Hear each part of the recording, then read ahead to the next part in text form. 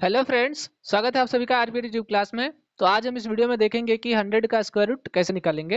यानी कि square root of 100 100 का वर्गमूल कैसे निकालेंगे। तो ऑब्वियसली मैं इस क्वेश्चन को बाई प्राइम फैक्टराइजेशन मेथड से करूँगा।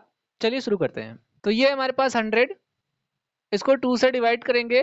टू फाइव जा टेन टू ज़ीरो जा ज़ीरो अगेन टू से डिवाइड करेंगे टू टू जा फोर टू फाइव जै टेन और फिर इसे हम फाइव से डिवाइड करेंगे फाइव फाइव जै ट्वेंटी फाइव फाइव वन जा फाइव तो इस प्रकार से जो हंड्रेड के फैक्टर बनेंगे, यहाँ पर स्क्वायर रूट होगा तो बनेंगे two into two into five into five अब क्या करना होता है कि हमें पेयर बनाना होता है। पेयर का मतलब होता है जोड़े। तो एक तो इसका बन रहा है और एक इसका बन रहा है। इस पेयर को स्क्वायर रूट के बाहर लेना होता है। तो एक लेते हैं। यहाँ पर दो टू है तो एक लेंगे। एक यहाँ पर आ जाएगा। दो फाइव है तो एक फाइव लेंगे। यहाँ पर आ जाएगा। तो इस प्रकार से बाहर कौन कौन आएगा? टू और फाइव आएगा। तो टू, फाइव जा टेन। इस प्रकार से जो हमारा हंड्रेड का स्क्वायर रूट होगा, वो होगा टेन। कितना होगा? टेन। आंसर कितना आएगा? टेन।